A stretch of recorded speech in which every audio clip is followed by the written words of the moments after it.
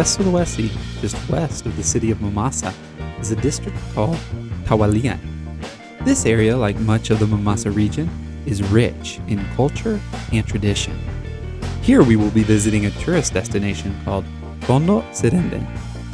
If you are enjoying our videos, we would love it if you would subscribe, like, and click the notification bell so you can watch more of our videos about the beautiful island of Sulawesi.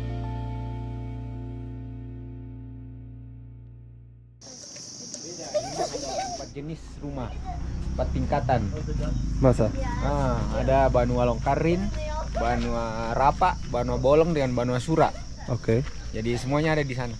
Jadi mulai dari tingkatan paling bawah sampai tingkatan paling atas. Ada Oh, di ada di satu kompleks ini.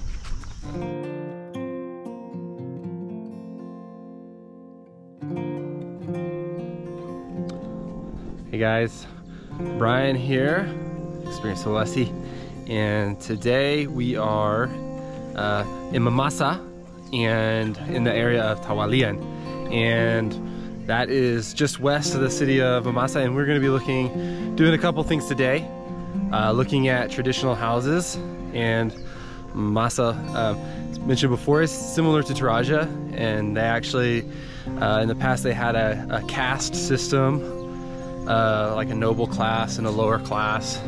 We're gonna be looking at different styles of houses, and maybe today we're gonna get a chance to look at some uh, traditional music with uh, made with bamboo. So we'll see about that.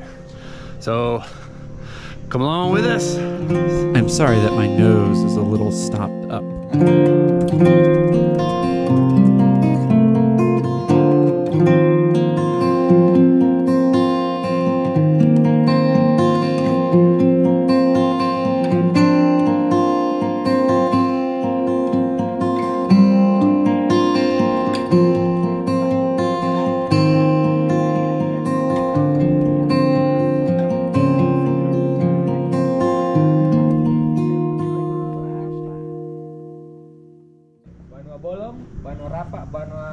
Longkarin yang paling ujung di sana Yang paling ujung Banua Longkarin baru Banua Rapa baru Banua Bolong baru Banua Sura ini tingkatan paling tinggi nah di Banua Sura ada dua lagi ada yang kecil seperti ini ada yang lebih besar lagi yang lebih besarnya itu ada di Robuan Rambu Saratu dengan eh, Buntu Kasisi yang paling besar besar Yang Tiangnya ini dua. punya Banua Sura. kaste kaste apa? Eh, yang tertinggi paling Dia tinggi. paling tinggi So this is a high caste. yes Uh, one.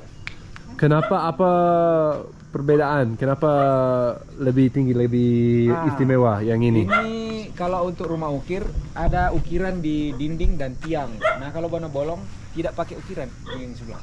Oh, okay. Ini bana bolong, ini tidak pakai ukiran. I didn't know what the word ukiran means in Indonesia, which means carvings. Oh, Ada okay. motif di dinding terus. Oh, tiang. begitu. And this one is uh, Ya bana bolong. Hey little puppy. It's okay. We're friendly. Ini bana bolong. Ya, Ini hitam, rumah hitam. rumah hitam. Caste ketiga. Ada. eh, kedua dari atas. Oh, du- kedua ada. Ketiga. Besi. Ya. Okay.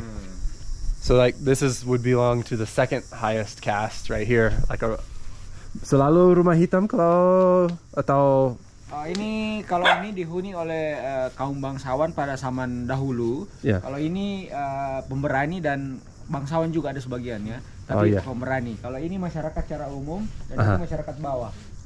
oh, okay. Eh, So you can kind of see here these these four houses that you can see here are belonging to the four different castes. ini Banua Rapa.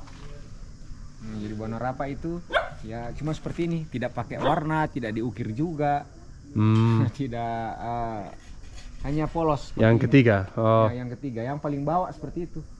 ya. Nah, Ini sama dengan alang. ya ini Ini alang-alang. ini alam Banua. An alang is a Tarajan storage house for food like rice and corn. They're usually situated or built in front of the house. Pakai kalau di memasak pakai langi-langi. apa tuh? Oh, langi-langi yang dipakai untuk uh, bawa je- jenazah ke kuburan. Kayaknya tidak. Itu s- cuma untuk Rambu Solo. Sorry, I'm being a little confusing here. But you can watch the video at the top if you want to see what a langi langi is. Ya, untuk Rambu Solo. Oh begitu. Tapi kayaknya kalau langi-langi cuma kaste atas bangsawan. atas, betul? Kalau Oke. kasta bangsawan di Ada sini di- mengangkat jenazahnya pakai atas, kan? seperti Iya, ada. oh ada. Nah, Ya. Ditaruh di atas. Mirip tongkonan kecil kan? Ya, dia biasanya ditaruh di atas kalau pengalunan itu di atas. Oh. Dibuatkan ini baru ditaruh di atas. So Daniel, this uh, you can kind of see you can kind of see each one like each of the different levels, which is kind of cool. I haven't seen this in Taraja, which is the big touristy place. So this is a pretty. This could bring in. This is a really cool place. It could bring in a lot of tourists, Yeah. right? And uh, this right here, uh, Alang, Alang. So this would be like your good old silo in West Texas or wherever, everywhere people use silos. That's what they where they store rice. Rice. Daniel is from West Texas. Kenapa ada lubang? Ada. Tawon, tawon, tawon. Untuk tidak terlalu lembab atau Ah, ini hewan, hewan yang bocor-bocor. Oh, okay. Animals made it. He said. Tawon, tawon. Apa itu tawan? Oh, B. Oh, bee. Really? Bees tu- tunnel in there. Really? Dia kami berpikir kayaknya ada lubang karena perlu agak lembab di dalam. Nah, oke. Nah, itu di di dalam di sana. Oh ya. Itu tempat eh, apa mengolah bibit padi untuk ditabur yang dibawa. Di- Yang di bawah rumah. Yang yang di atas itu kulit apa? Kulit kerbau. Kulit kerbau. Iya. That's a water buffalo skin. Buffalo. Ini untuk mengolah eh, bibit jadi untuk ditabur padi padi lokal dulu. Ini dilul palulusan namanya. Iya. Palulusan Jadi ditaruh di eh, bawah baru diinjak. Injak-injak. Nah, ini perbedaannya. Ini perbedaannya. Ini namanya karin. Karin. Ini disebut Banyuwan lokarin. Ya, ini lokarin namanya. Yang paling eh, yang paling bawah ini namanya lokarin. Kalau itu baru tidak. Yang bawa yang dibawa rumah yang dibawa ini ini. Dia kayunya di tanah. Ini namanya baru longkarin. Dan dia tidak punya lumbung. Karena dia di belakang ya, dia, dia ada namanya talukun. Dia biasanya taruh di belakang rumah. Kaste apa pakai satelit? Kalau ini sudah modern. Betul, iya. Eh, saya saya kira pasti bangsawan. Kalau di sini eh, tempat ini yang punya eh, satu keluarga. Ya, Betul, satu, ya. satu orang. Jadi eh, ini hanya sebagai eh, simbol dalam satu Jadi mereka ini. membangun keluarga ya, itu. ini ini dibangun sebagai Ibu tadi? Ya, Atau ini ibu? keluarganya ibu. Oh, keluarga ibu yang punya. Sebagai Oke. contoh mulai dari bawah sampai paling atas. Ah, Oke, Nah, oke baik. kalau ibu sudah dilewati semua keluarganya mulai sampai di ma mangkat tawa buat ini. Ibu siapa namanya? Arni. Arni. Oke, nama saya Brian. Sebenarnya saya punya channel YouTube. Saya uh, nggak apa-apa kalau eh, saya tidak minta izin merekam, tidak apa-apa. Makasih. Keluarga um, ibu membangun semua ini atau Ayah. Saya anak. oh ayah Ayah dan ibu yang dengan tujuannya promosikan pariwisata? Iya, karena di Mamasa sudah eh, hampir habis ini rumah Mamasa. Semua bangun yang rumah modern Betul. Jadi dia membangun Ya. untuk uh, uh, supaya identitas Mamasa tidak hilang. tetap lanjut. Iya. Wah, luar biasa. Tahun berapa uh, dibangun rumah-rumah di sini? Eh, lebih 20 tahun yang lalu. 20 tahun lebih. Iya. Oke, 90-an. Iya. Iya. Tapi ini rumah tua yang dipindah ke sini. Iya. Rumah-rumah tua semua. Bukan dibangun Bukan baru. dibangun baru. Oh, Dipindah dari kampung. Oh begitu. Yeah, so the Tongkonan houses that you see a lot in our um, uh, Tarajan videos, if there were a lot of them in our Tobarana video where we learned about uh, traditional weaving, um, you can watch that video uh, up here at the top. but uh, they're actually the Tongkonan houses in Mamasa are uh, that these are called uh, Banua, Banua.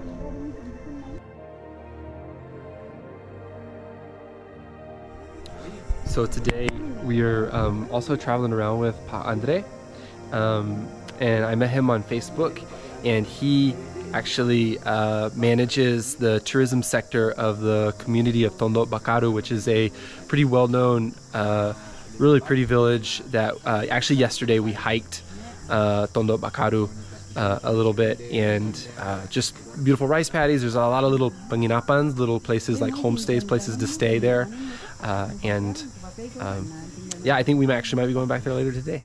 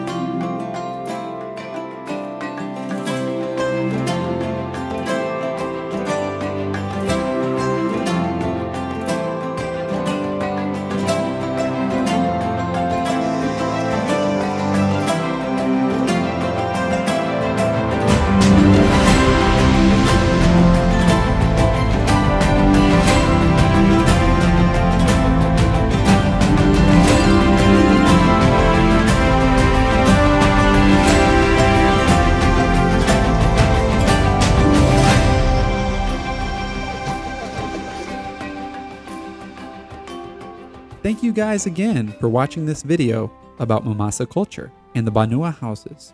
We hope you enjoyed it and please join us for our next video where we will be learning about traditional music in the beautiful region of Mamasa.